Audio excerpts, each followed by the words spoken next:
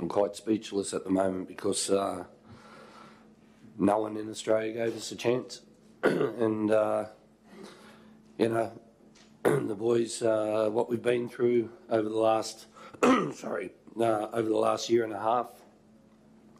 Uh, with the pandemic, um, not being able to get back into Australia and players getting COVID and you know us not being able to have our best squad together a lot of times.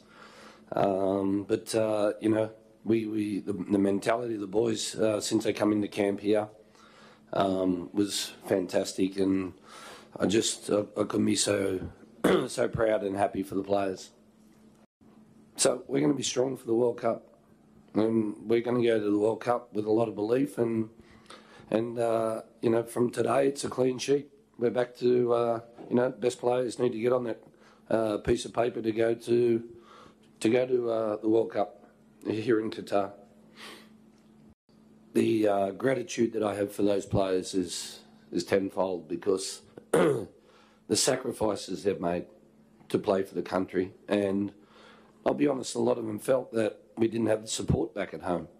no one thought that we could do this, but uh, they they kept believing, and that's the most important thing. And uh, I'll go and have a, and enjoy a beer with them tonight.